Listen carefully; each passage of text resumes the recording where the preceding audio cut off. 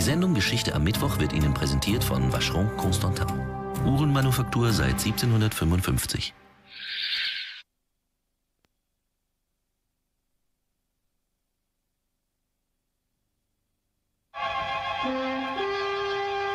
America prepares to face attack on its cities and atomic bomb destruction.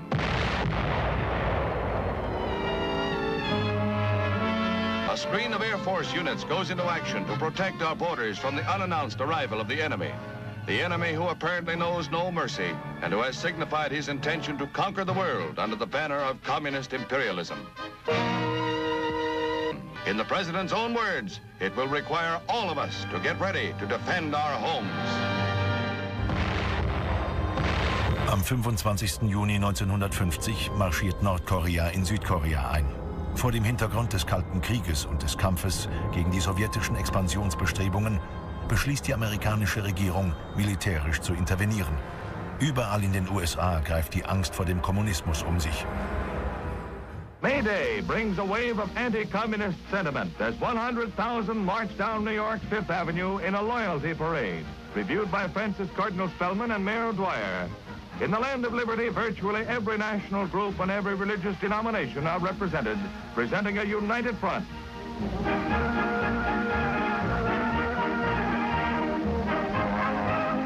Conducted under the auspices of the Catholic Church, during which Cardinal Spellman again joins in the denunciation of communism on the day that has traditionally belonged to red forces throughout the world.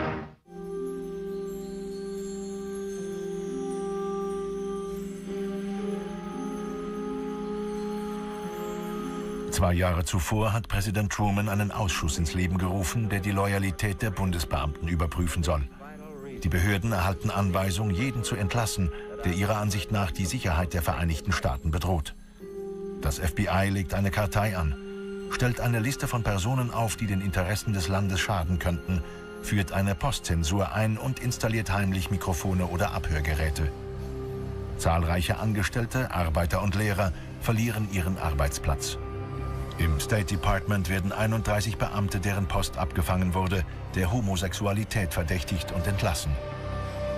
Amerika tritt in eine Ära der Inquisition ein. Auch der Kongress ist nicht untätig geblieben. Das Repräsentantenhaus verfügt über den sogenannten Ausschuss zur Untersuchung unamerikanischer Umtriebe. Committee on Un-American Activities is investigating alleged communist influence and infiltration in the motion picture industry. Ganz Hollywood gibt sich die Klinke in die Hand. Mehrere prominente Persönlichkeiten werden zu Gefängnisstrafen verurteilt. Are you a member of the Communist Party? Or have you ever been a member of the Communist Party? It is absolutely beyond the power of this committee to inquire into my association in any organization. You have to stop. This committee is attempting to establish the right which is historically denied to any committee of this sort to invade the rights and privileges and immunities of American citizens, whether they be Protestant or Methodist or Jewish or Catholic, whether they be Republicans or Democrats or anything. Would you favor the outlawing of the Communist Party? I favor the outlawing of the Communist Party as a, an agency of a foreign government. You consider them to be the agents of a foreign government? I do, sir, yes. Die Verhaftung des brillanten US-Diplomaten Alger Hiss rückt den republikanischen Senator für Wisconsin, den Hinterbänkler Joseph McCarthy, ins Rampenlicht. Hiss wird beschuldigt, Geheimdokumente an die Sowjetunion weitergegeben zu haben. Der übereifrige Untersuchungsbeamte, der den angeblichen Verräter entlarven konnte, ist der kalifornische Abgeordnete Richard Nixon. I am holding in my hand a microfilm of very highly confidential secret State Department documents. These documents were fed out of the State Department over 10 years ago by communists who were employees of that department and who were interested in seeing that these documents were sent to the Soviet Union. Joseph McCarthy nimmt Nixons Rede zum Anlass, um den Einfluss der Kommunisten auf das State Department anzuprangern. Er erklärt, er besitze eine Liste von 205 kommunistischen Agenten, die das Außenministerium unterwandert hätten. Später wird McCarthy zugeben, dass diese Liste nie existierte. McCarthy ist besessen von dem Glauben an eine kommunistische Verschwörung und benutzt den Senat, um Amerika in eine endlose Hexenjagd zu verwickeln. Ihr widmet er sich hemmungslos während seiner kurzen vierjährigen Karriere, die ihn berühmt machen sollte.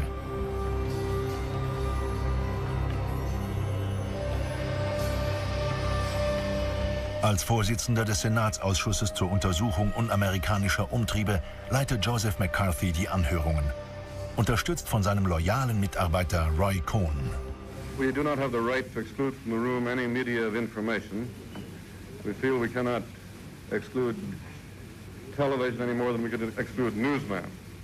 However, uh, the television must be handled in such a way that will not uh, embarrass the witness, will not cause him any discomfiture. Uh, also, counsel is entitled not to have any bright lights shined upon him. Uh, could you turn those lights a little more? You solemnly swear to tell the truth, the whole truth, and nothing but the truth, so help you God. I do. Sit down, please. Bei seinen öffentlichen Auftritten verwandelt McCarthy den Senat und seine Ausschüsse in Theaterbühnen, auf denen er stets unweigerlich dasselbe Stück spielt. Ein immer zahlreicheres Publikum von Schaulustigen drängt in diese Vorstellungen, bei denen McCarthy nach Lust und Laune und auf der Grundlage von Indiskretionen oder Denunzierungen die Verantwortlichen für die amerikanische Außenpolitik auftreten lässt. Er beschuldigt insbesondere Lehrer, Regierungsbeamte, Journalisten und Hochschuldozenten, im Auftrag der Sowjets eine kommunistische Verschwörung zu betreiben. McCarthys Absicht ist es, sie in Schauprozessen vor einer Öffentlichkeit bloßzustellen, die nie etwas Vergleichbares erlebt hat.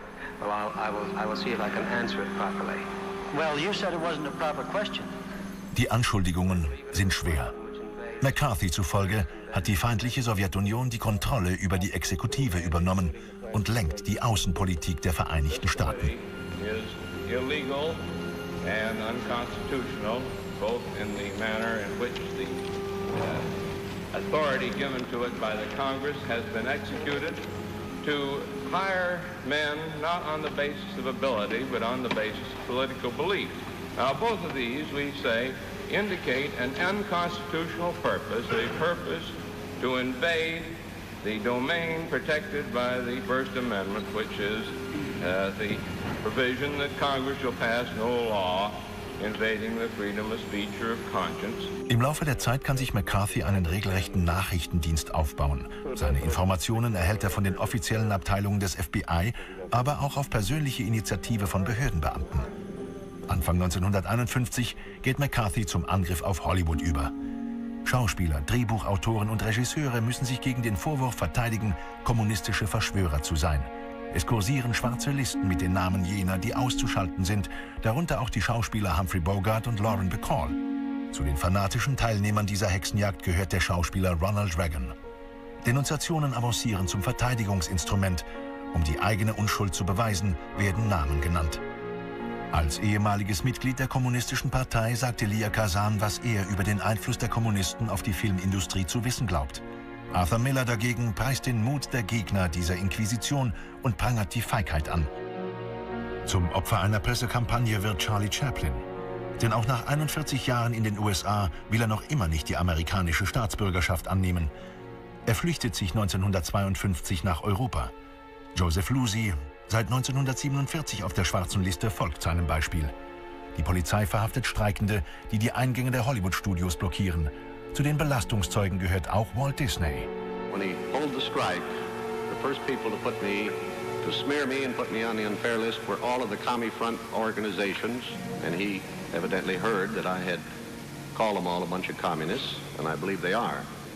Die wachsende Aufmerksamkeit, die McCarthys Enthüllungen erregen, zwingt das Weiße Haus, wo dieselbe Paranoia gegenüber dem Kommunismus herrscht, eine ähnliche Position einzunehmen. Präsident Truman erklärt, wenn das Vaterland in Gefahr ist, sind persönliche Freiheiten zweitrangig. Auf Drängen von McCarthy muss die Unredlichkeit eines Beamten nun nicht mehr bewiesen werden. Zur Rechtfertigung einer Entlassung genügen bloße Zweifel. Gegen 26.000 Angestellte der Bundesbehörden wird umfassend ermittelt. 7.000 quittieren den Dienst und 739 werden entlassen. Entweder wegen Mitgliedschaft in einer sogenannten subversiven Organisation oder wegen sexueller Immoralität oder Homosexualität. Die von der Exekutive eröffnete Hexenjagd ist in vollem Gange. Im Juni desselben Jahres werden Julius und Ethel Rosenberg verhaftet, zwei Jahre später exekutiert. Ihnen wird vorgeworfen, den Sowjets Informationen über die Atombombe geliefert zu haben. McCarthy avanciert zum Nationalhelden. Er schreckt nicht davor zurück, den Verteidigungsminister zu verunglimpfen, den er als Hauptverantwortlichen für die Verschwörung und den weltweiten Rückzug der USA betrachtet. Und er geht sogar so weit, den Präsidenten höchstpersönlich einen Dreckskerl zu schimpfen. Hauptnutznießer der McCarthy-Ära ist jedoch die Republikanische Partei, die den Senator schützt, weil seine Unterstützung im nächsten Wahlkampf für sie von unschätzbarem Wert ist. 1952 stellt sich Eisenhower zur Wahl und macht Richard Nixon zu seinem Vizepräsidenten. Ihr Wahlkampf konzentriert sich auf drei Themen und drei Feinde. Korea, den Kommunismus und die Korruption. Später sollte sich herausstellen, dass McCarthy gegen das Gesetz verstieß, indem er zur Begleichung seiner Spielschulden hohe Bestechungsgelder von der Firma Pepsi Cola für die Liberalisierung des Zuckerpreises annahm. Eisenhower wird gewählt. Dies ist der erste Wahlsieg der Republikaner seit 1920. Bereits im Januar 1953 ist McCarthy erneut Vorsitzender des Ausschusses zur Untersuchung unamerikanischer Umtriebe und setzt seinen Kreuzzug fort. Die McCarthy-Ära erreicht ihren Höhepunkt. Aus öffentlichen Büchereien und Schulbibliotheken werden über 50.000 Titel verbannt. Did you feel that professors should be given the right to teach sophomores that marriage, uh, let quote, should be cast out of our civilization as antiquated and stupid religious phenomena. Was that your feeling at that time? My feeling was that professors should have the right to express their considered opinions on any subject, whatever they were, sir. The answer is yes? The answer is yes. Communists and socialists should be allowed to teach in the schools. They should have the right to teach anything that came to their minds as being a proper thing to teach. I was suspended from classes on April 1st, and I resigned from the university when you resigned from the university? There are thousands of able and loyal employees in the federal government of the United States who have been properly cleared according to the laws and the security practices of their agencies, as I was. Ende Februar weist der Verteidigungsminister seine Offiziere an, nicht mehr vor McCarthys Ausschuss zu erscheinen. Die Öffentlichkeit ist beunruhigt und die Presse äußert sich erstmals kritisch. McCarthy beginnt unbequem zu werden und die Regierung Eisenhower hat keine Verwendung mehr für ihn. Of course there are risks if we are not vigilant. But we do not have to be hysterical. We can be vigilant, we can be American. Im März 53 dann der erste schwere Schlag. McCarthy wird in einer CBS-Sendung attackiert. Senator McCarthy claims that only the left-wing press criticized him. Let us look at some of these left-wing papers. The Herald Tribune of New York McCarthyism involves assaults on basic Republican concepts. The Milwaukee Journal. The line must be drawn and defended or McCarthy will become the government. The Evening Star of Washington. It was a bad day for everyone who resents and detests the bully boy tactics which Senator McCarthy so often employs. The New York World Telegram. Bamboozling, bludgeoning, distorting way. The St. Louis Post-Dispatch. Unscrupulous, McCarthy bullying. What a tragic irony it is that the president's political advisors keep him from doing what every decent instinct must be commanding him to do. The line between investigating and persecuting is a very fine one, and the junior senator from Wisconsin has stepped over it repeatedly. His primary achievement has been in confusing the public mind as between the internal and the external threats of communism. We must not confuse dissent with disloyalty. We must remember always that accusation is not proof. Einen Monat später muss sich McCarthy vor dem Senat zur Scheinaffäre äußern. Der Senator und sein Mitarbeiter Roy Cohn beschuldigen das militärische Oberkommando, den Soldaten David Schein verfolgt und als Geisel festgehalten zu haben. Schein war dem McCarthy-Komitee zur Untersuchung einer eventuellen kommunistischen Unterwanderung von Militärstützpunkten zur Verfügung gestanden. Der Fall des Soldaten Schein ist der lang erwartete ideale Vorwand, um sich McCarthy vom Hals zu schaffen – mit Zustimmung von Präsident Eisenhower kann nun McCarthys Hinrichtung beginnen, in Form einer Live-Sendung. Zum ersten Mal sind Fernsehkameras im Senat zugelassen.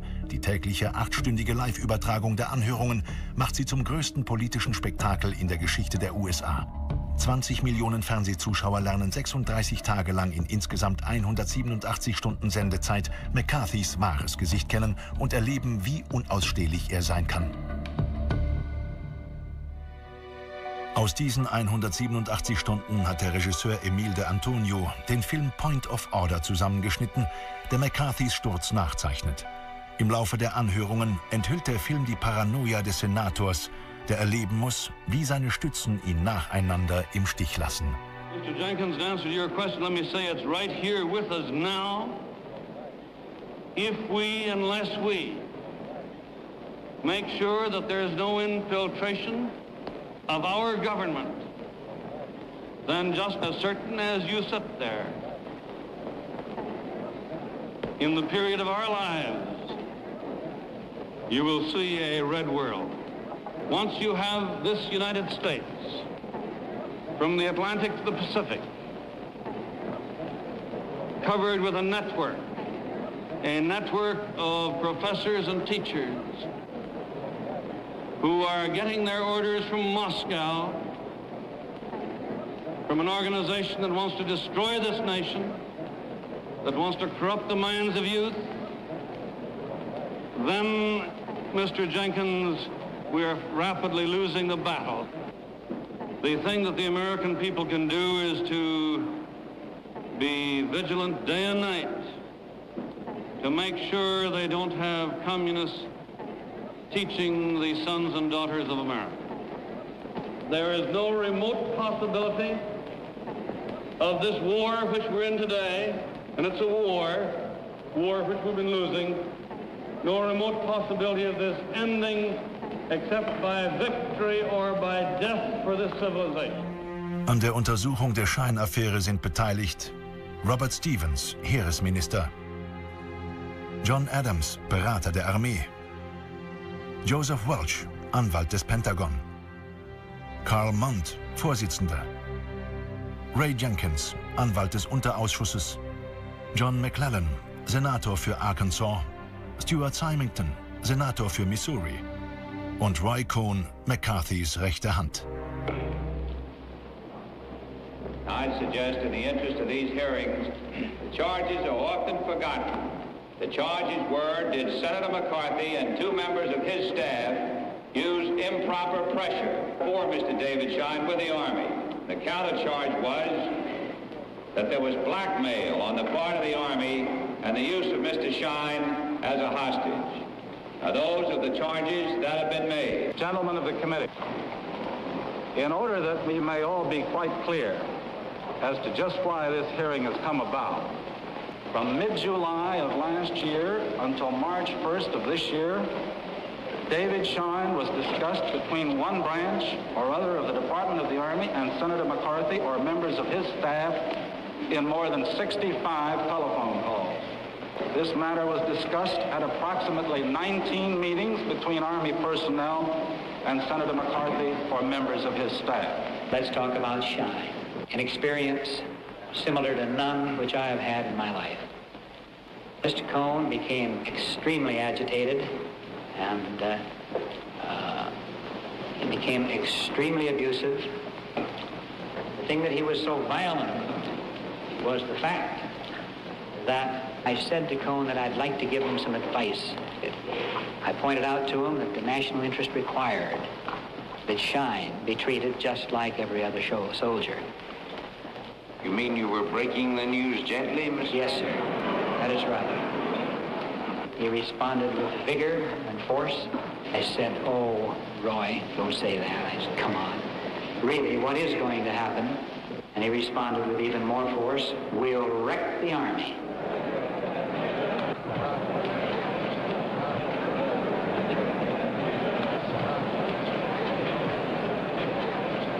Saying that you have no recollection of it. No, sir. I, I say I do not recall having said that. Well, that, that's what that's what I get your answer Yes, to be sir. now. You don't recall having said it, No, sir. but you don't deny it. Sir, I'm saying I sure I did not say that. I am sure All I did. now you're saying you did not say it, Mr. Cohn. Yes, sir. I say I am well. sure that I did not make that statement, and I am sure that Mr. Adams and anybody else with any sense could not ever believe that I was threatening to wreck the Army or that I could wreck the Army. I say, sir, the statement is ridiculous. I'm talking about Stevens being through as Secretary of the Army. That's, that's equally ridiculous, sir. And untrue. Yes, sir. Equally ridiculous and untrue. The treatment accorded and the opportunities afforded Mr. Schine after his entry into the military service should be the same as for any other American citizen, no more and no less. Mr. Cohn came to my office at 11.20 a.m. You felt that Mr. Cohn was being too persistent or was trying to high pressure anyone? Not me, sir. To hold this boy Schine as a sort of a hostage and use him as a bait for the purpose of abating this investigation, was it? Certainly not. Mr. Chairman, I want to point out that I think that question is completely improper and unfair. The implication is that this chairman could have been bought off. All the evidence is that this chairman could under no circumstances have been bought off this investigation. Private Schine almost invariably rode in the cab of the truck, whereas the other soldiers, sometimes numbering 40 and 50, were packed like cattle or sheep in the bed of the truck and exposed to the weather? Did you learn that? No, sir. I've been in the military for a while. I've never seen young men treated like cattle, and I know that... I don't think we should let it go to the mothers of this country that their sons are being treated like cattle, because they are not. don't, don't you think, uh, actually, Mr. Secretary, this is all uh, ridiculous in the extreme? For this committee and all of these competent Army officers to be sitting here trying to find out why a private in the Army was successively promoted until he is finally up to the very top position of private. What do you think? Well, I think you would like to have had him something other than a private. well, let Chairman, I don't, I don't mind leaving. Let's for the time being assume that what you say is right. If I wanted him as something other than a private, I was awfully unsuccessful, wasn't I? But that wasn't your fault, Senator. Right. Very good.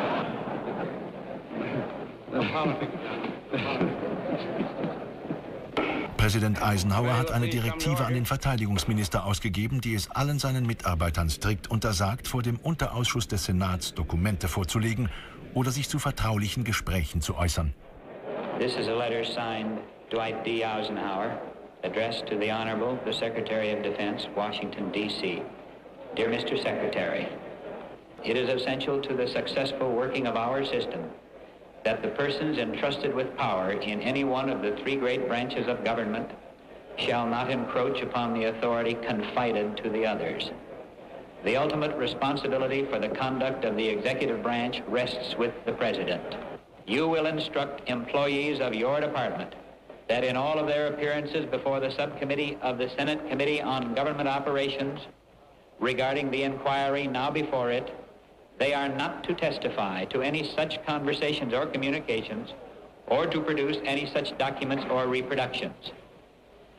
This separation is vital to preclude the exercise of arbitrary power by any branch of the government.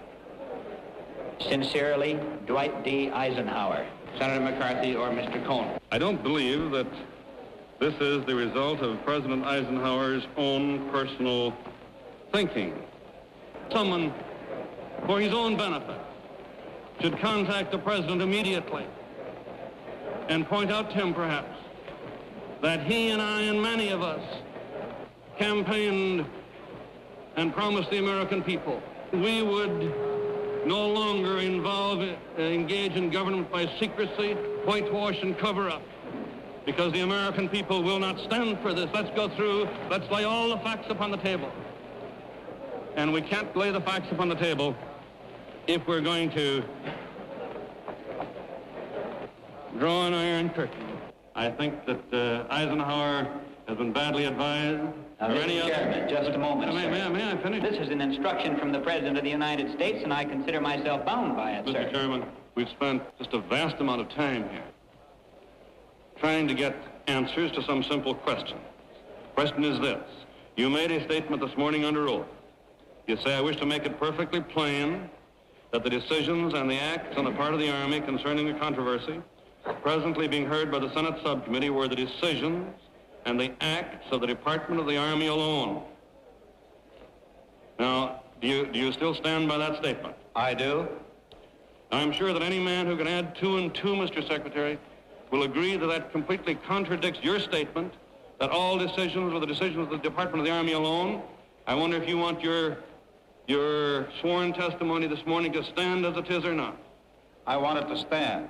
Does this mean I'm a communist, Senator? That's awfully funny, isn't it, Mr. Secretary? That's terribly funny. I, No, but I when you made were- it very clear to you at all times that I felt that you were anti-communist. I also made it very clear to you that I thought that you were very naively and unintelligently anti-communist. May I finish, Mr. Chairman? I think this is infinitely more important than anything we bring out of this hearing. McCarthy hatte sich auf illegale Weise ein streng vertrauliches Schreiben des FBI-Chefs beschafft. Dieser Fauxpas dient nun dazu, McCarthy zu vermitteln, dass auch FBI-Chef Edgar Hoover ihn fallen gelassen hat. I'm a little confused here. This is a copy of a letter that's being introduced. I'd like to know how did it get here? It was handed to me just now by Senator McCarthy.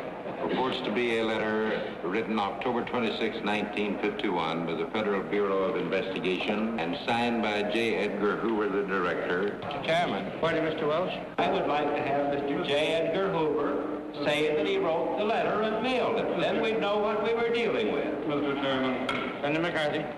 The original, I I want to question the secretary as whether or not the original of this and other letters like it are in his file. I want to make it very clear that I have gotten neither this letter nor anything else from the FBI. Chairman, I, I assure you the, this purported copy did not come from the Army files, nor does the Senator for a moment suggest it did. Uh, Mr. Chairman, if Mr. Welch is going to say there's not a copy of this in the Army files, he should be sworn because that statement is untrue as far as I know. There I is an did exact not say that, Senator. I said that this purported copy did not come from the Army files, and you know I'm quite right, sir. And I have an absorbing curiosity to know how in the dickens you got hold of I'll it. wager you. I will. I think you should read the letter. I'd like before to you have the advice of uh, counsel, if I may, as to whether or not I'm at liberty to, to discuss a letter from Mr. J. Edgar Hoover. You're at liberty to read Because it. I think it's very bad policy to discuss these things without Mr. Hoover's knowing about it. This is a matter that ought to be released by J. Edgar Hoover uh, before we deal with it in this room.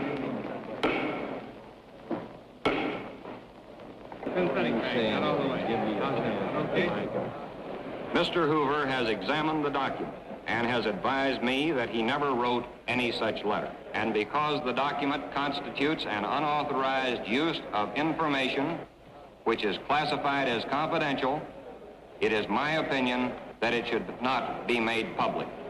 Now, Mr. Collier, as I understand your testimony, this document that I hold in my hand is a carbon copy of precisely nothing. Is that right? I will say that Mr. Hoover informed me that it is not a carbon copy of a memorandum prepared or sent by the FBI.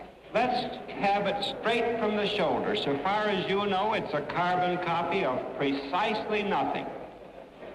So far as I know, it is, yes. And so far as you know, this document in this courtroom sprung yesterday by Senator McCarthy is a perfect phony. Mr. Chairman, this has been referred to as a phony by Mr. Welch. That's one of the most serious reflections upon the integrity of the chairman that we've had so far, and I've had many reflections upon my integrity.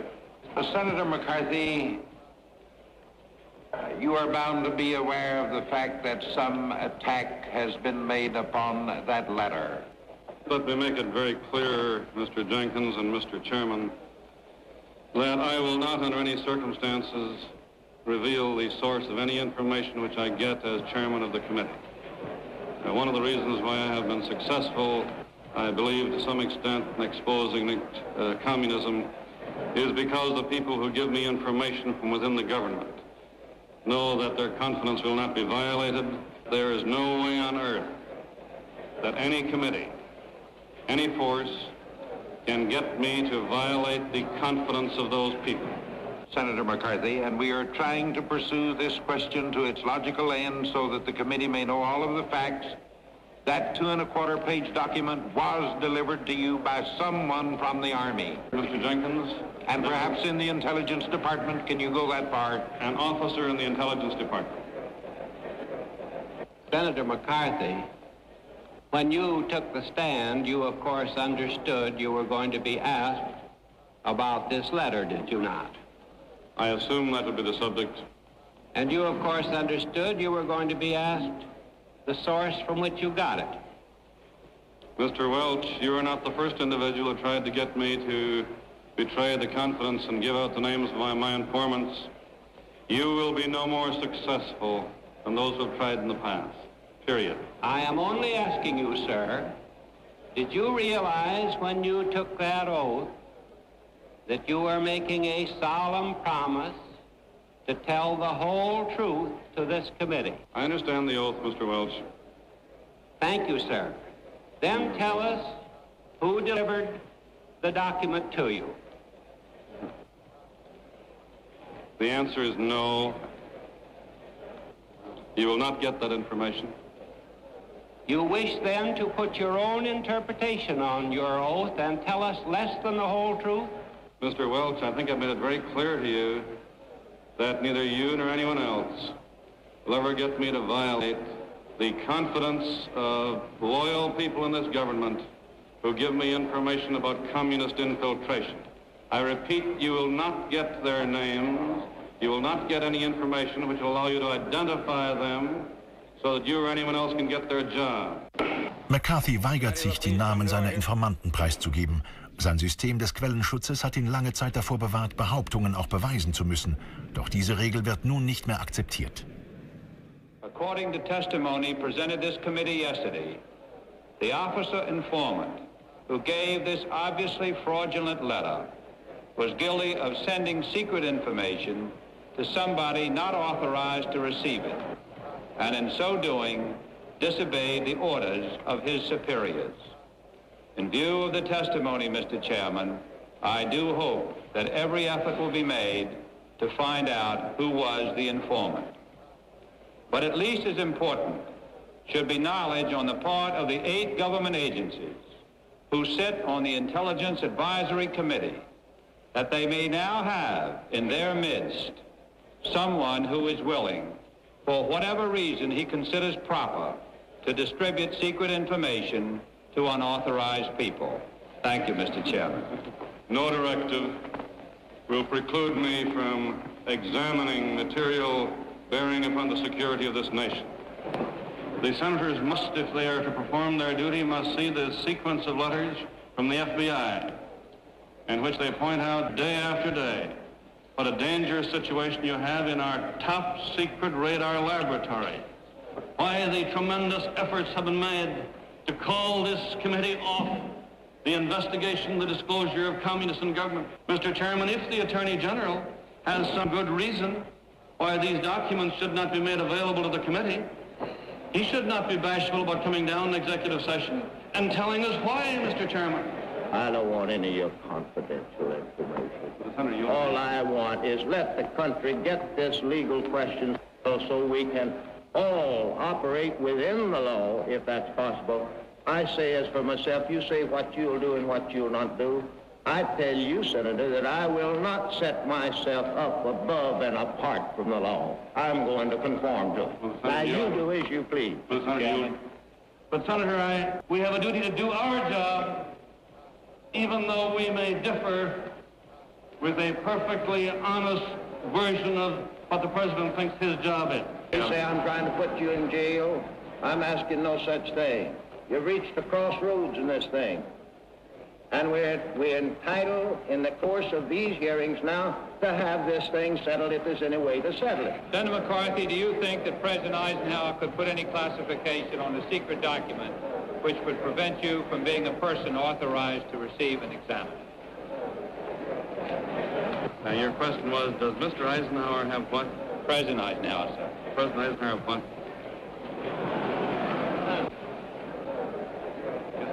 have no. Der Unterausschuss des Senats fordert Roy Cohn auf, die berühmte Liste mit rund 100 kommunistischen Agenten vorzulegen, die verschiedene Regierungs- und Armeebehörden unterwandert haben sollen. In this now famous two and a quarter page document, there were about 35 names listed. This is pretty serious. Have we had anything as serious as this so far? I think we've got something much more serious right now. Uh, uh, Right, this Well, I'm moment- talking about up Yes, to yes. prior to this hearing. May, may, may I answer, may answer that question, Mr. All right. Chairman? I think we've got a much more serious situation now in communist infiltration of the CIA. Disturbs me beyond words. Well, we haven't, the members of the committee have not been advised, and I do think that... Oh, yes, they have. Oh, yes, they have. Have we, uh, the names and, uh, of the people. I, I've discussed this matter with the members of the committee. I've also discussed with the members of the committee the question of communist infiltration of atomic and hydrogen bomb plants. I felt that was, I think, even more important than this infiltration at uh, May I, Monmouth. may, may, just, just let me finish and do this one, one point. May I uh, have from the files all the memos and, and meetings and minutes with reference to this matter so that uh, we on the committee can be fully informed? You, you, you certainly may, Senator, certainly may. Well, may I ask the distinguished chairman, have we yet received the names, and I assume they're in the file, of the claimed 133 communists that are ready for investigation? I've asked for it. You know that I have been tied up here day and night with this investigation. I frankly don't have the time now, and that's one of the reasons why I, I object to this show continuing on the road. Mr. Cohn, what is the exact number of communists or subversives that are loose today in these defense plans? The exact number that is loose, sir? Yes, sir. I don't know. Well, that's 130, is that right?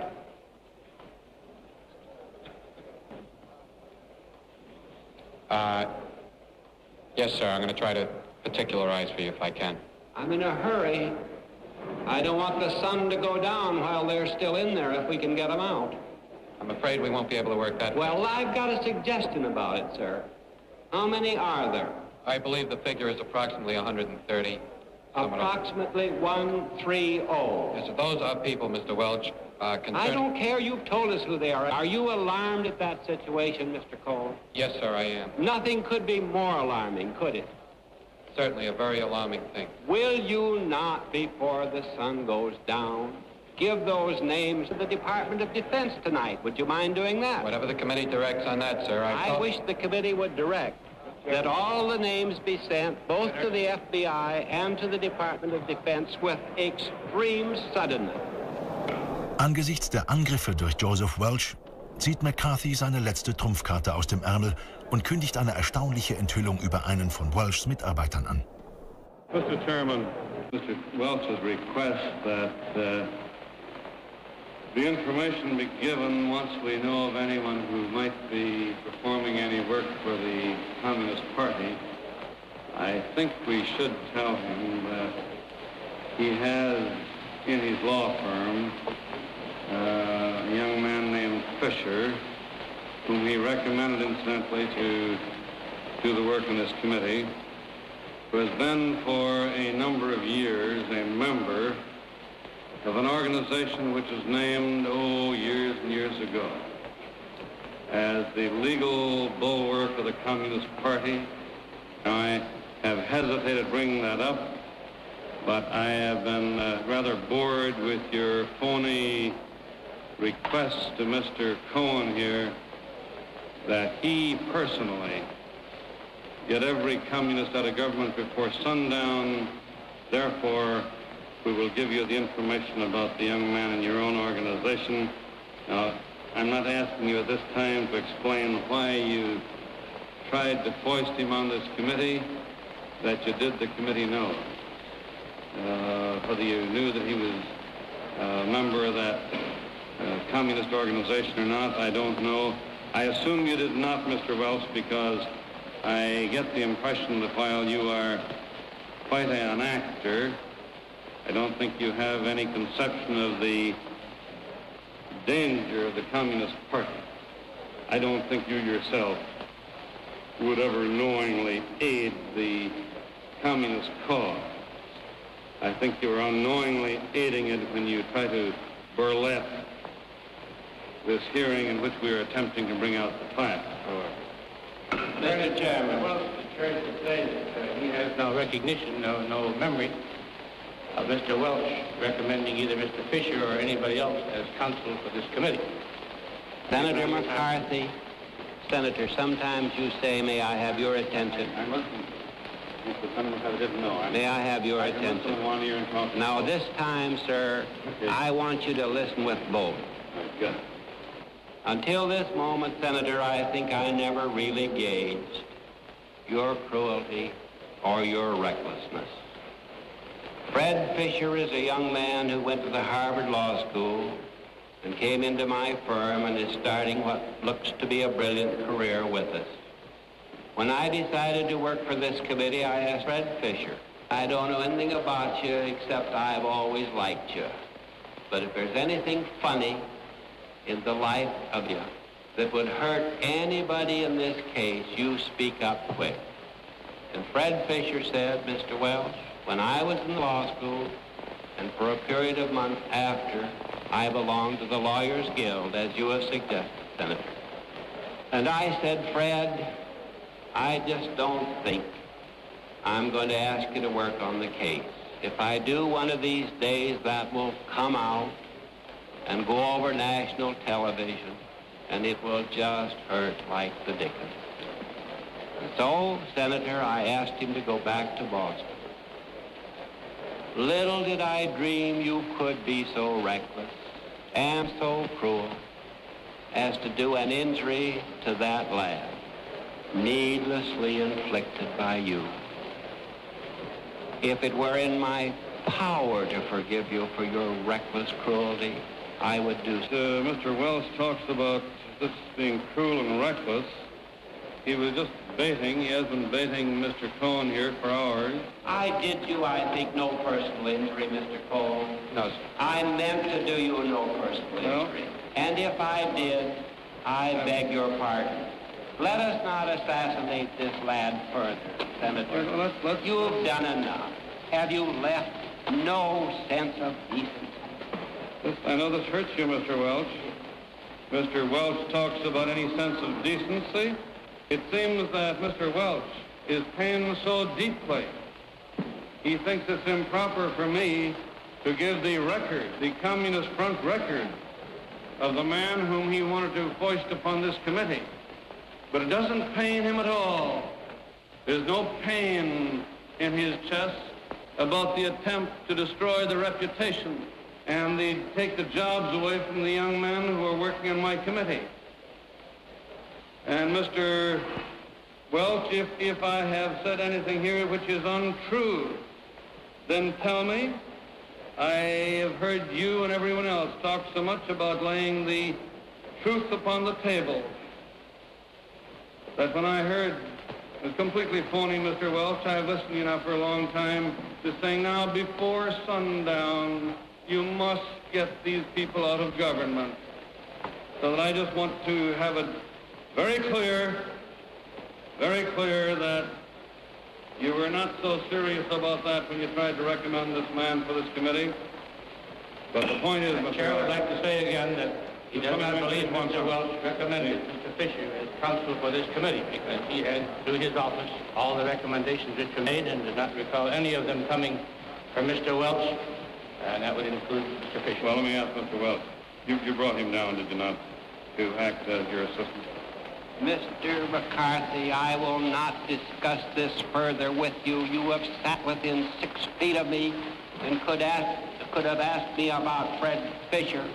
You have seen fit to bring it out, and if there is a God in heaven, it will do neither you nor your cause any good. I will not discuss it further. I will not ask Mr. Cohn any more witnesses.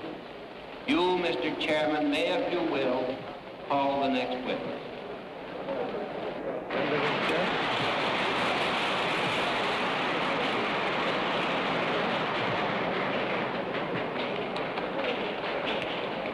Stuart Symington ist verärgert über McCarthys frei erfundene Anschuldigungen und seine aufsehenerregenden, aber unwahren Enthüllungen.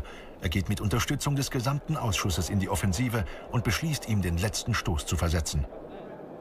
The charge by the junior senator from Wisconsin that we've had another year of treason under President Eisenhower. The charge that the CIA is infiltrated, infested with communists. The charge that the Department of Defense is full of communists. The charge that the Department of Justice, that the Attorney General of the Department of Justice There's something phony about him and the charge that the hydrogen bomb plants and the atomic bomb plants are full of communists. Well, where do we go from here as the American people? It would appear some of us want to end up in this country with just plain anarchy. You better go to a psychiatrist. I want no psychological bribes from you. Nobody in the Senate knows more about how to avoid testifying than the junior senator from Wisconsin. And everybody in the United States knows that that fact is true. There have been times when they wanted to put you under oath and you didn't want to go. Mr. Symington has said that no one knows better than the senator from Wisconsin how to avoid testifying. I have now at this time made the offer to go on the stand and let him question me about everything. I don't care how irrelevant it is. Mr. Chairman, I have decided to testify under oath before this committee. I believe that I will have performed a public service of overwhelming importance. If any action of mine can induce you to answer under oath the allegations formally preferred against you by the Senate subcommittee, and to which you have heretofore persistently refused to respond, except to denounce the subcommittee. Accordingly, I propose that we agree on the following points. You will agree to an investigation by a committee of the Senate. I will agree to take the stand in the present proceeding and to testify as to the events preceding the institution of these hearings. I trust that you will confirm your agreement with this program. If you are in accord, please sign as indicated below. Senator, here's the letter. If you will sign it, then we can get this matter settled. Uh, Mr. Symington, I think, and I'm glad we're on television. I think the millions of people can see how low that a man can sink. I repeat, they can see how low an an alleged man can sink. Senator, let me tell you something. The chair believes that uh, the American people have had a look at you for six weeks. You're not fooling anyone either. In all the years that I have been in this government, based on the testimony that's been given before this committee under oath, I think the files of what you call my staff, my director, my chief of staff, have been the sloppiest and most dangerously handled files that I have ever known of since I've been in the government. All right, recess for 10 o'clock. Mr. Chairman, now you can run away if you like, Stu. You can run away if you like. You have been here trying to smear the staff of this committee. You jump up and run away without answering the question. I have asked you a simple question. Do you have, do you have any evidence of any kind to indicate that there's any subversive amongst these young men? If not, if not, you are leaving here this afternoon, leaving a smear upon the name of each and every one of them. You shouldn't do that, Mr. Symington. That's just dishonest.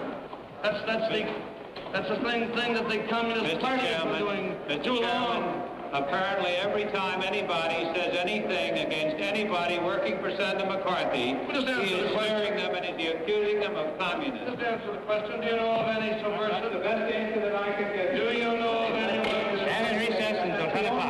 You won't answer whether you know of any subversive.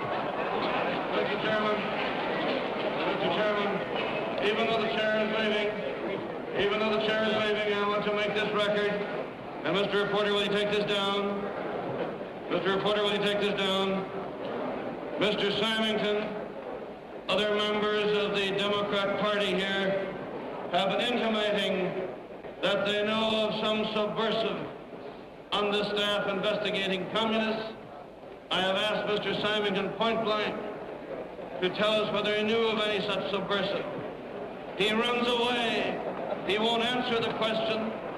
May I say that that is the most dishonest, the most unfounded smear upon some of the most outstanding young men that I have ever seen work to uncover communists. And before this is over, the American people have a, have a, better picture of it. I guess we must go and vote now.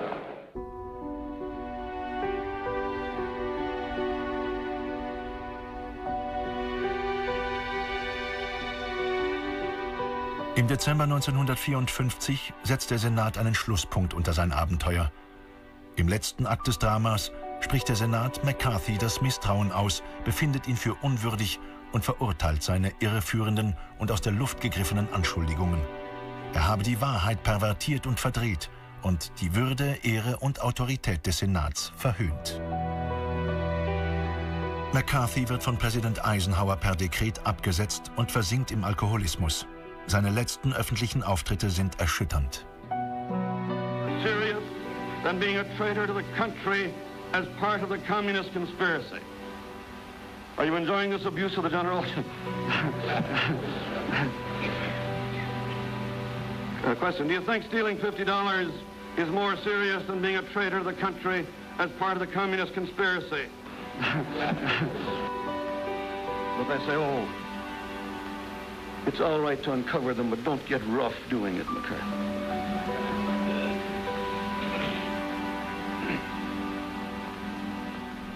Drei Jahre später, 1957, stirbt McCarthy, von allen vergessen.